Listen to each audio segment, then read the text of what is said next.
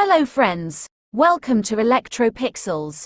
If you like our channel, please don't forget to like share subscribe and press the bell icon for getting further notification.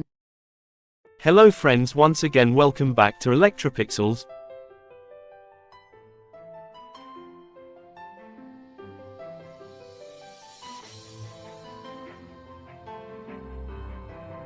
Today in this video we are going to repair this Westway 32-inch LED TV with fault sound okay no picture problem, see friends blank screen fault.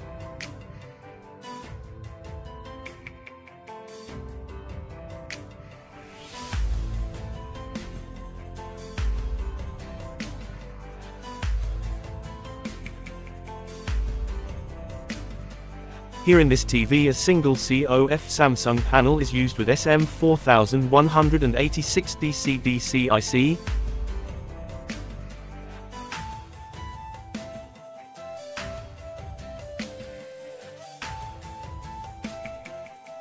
Due to internal shorting in gate signals the SM4186 IC goes to protection mode and because of that it doesn't generate panel basic voltages,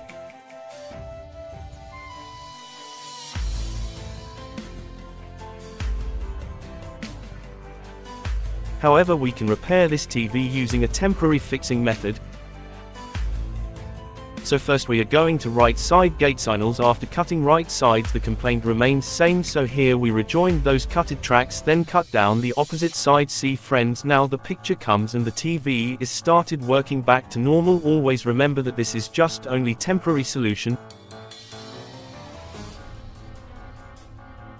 permanent solution is always panel replacement so that's it hope you like this video thanks you for watching.